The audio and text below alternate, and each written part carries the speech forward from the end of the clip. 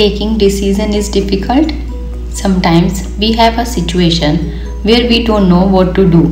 So in that case, if we talk to ourselves about that situation and what is the best part of this situation and what is the worst part of this situation, we will be better having the idea to come out from that situation.